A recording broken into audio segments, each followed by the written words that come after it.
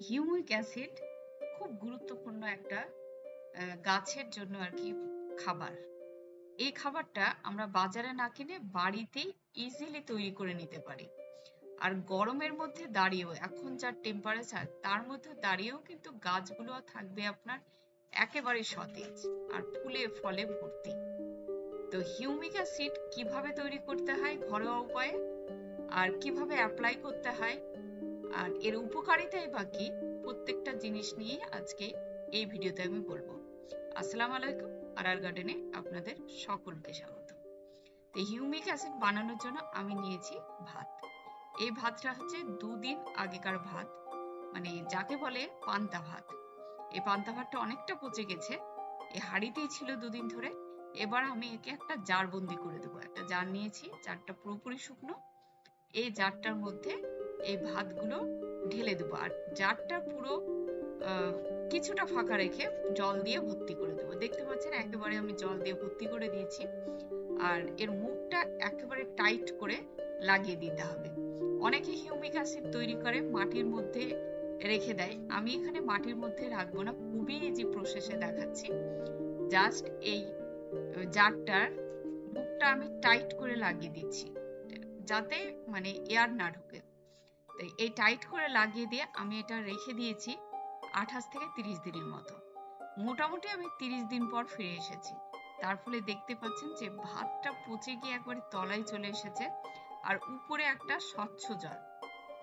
এই জলটা কিন্তু হিউমিক অ্যাসিডের জন্য রেডি হয়ে গেছে। তো এখন হিউমিক অ্যাসিডটাকে আরও একটু আমি কার্যকারী করার জন্য এক টুকরো আখের গুড় মিশিয়ে নিচ্ছি। এটা আস্তে করে খুলবো অনেকটা গ্যাস তৈরি হয়ে গেছে। আমি মিডিলে খুলিয়ে নিয়ে এইভাবেই রেখে দিয়েছিলাম। এবার জাস্ট আমি গুড়টা দিয়ে আবার রেখে দেবো দুই দিন। দুই দিন পর আপনাদের কাছে ফিরে এসে দেখাবো যে এর কালারটা কীরকম চেঞ্জ হয়েছে।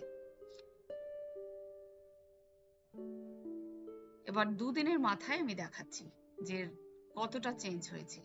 তো বাড়িতে পান্তা ভাত থাকলে সেটা ফেলে দিবেন না। এভাবে গাছের জন্য হিউমিক অ্যাসিড তৈরি করে নিতে পারেন। তো দুদিন পর দেখাচ্ছি হিউমিক অ্যাসিডটা যেটা হয়েছে, তার কালারটা কিন্তু একটু লালচে ভাব এসেছে।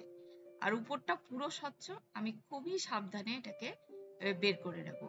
মানে জাস্ট উপরে অংশটা নেব, নিচের অংশটা কিন্তু রেখে দেবো। সেটাও কিন্তু ফেলে দেবো না, এটাও কিন্তু গাছের জন্য কাজে লেগে যাবে।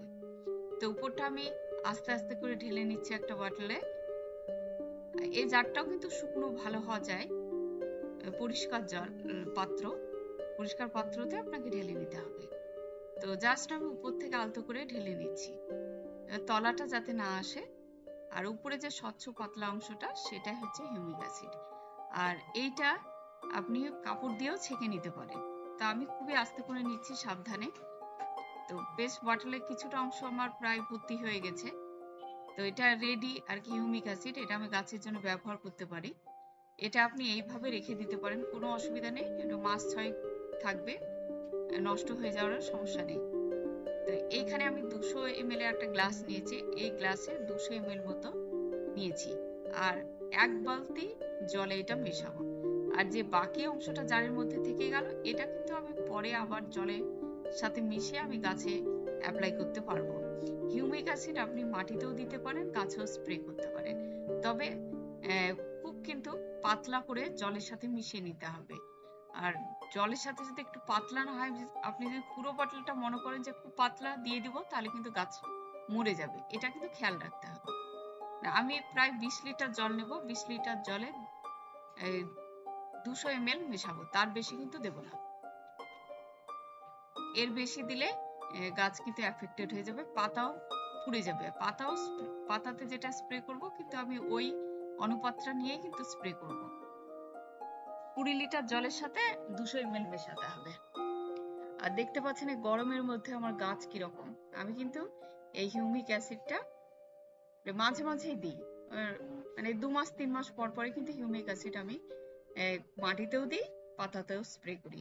হিউমিক অ্যাসিডের মেন কাজ হচ্ছে রুট বাড়িয়ে বাড়িয়ে তোলে। এটা দেখতে পাচ্ছেন এই বালতিটা কিন্তু আমি পুরো ভর্তি জল নিয়েছি। এই পরিমাণেই আপনাকে নিতে হবে।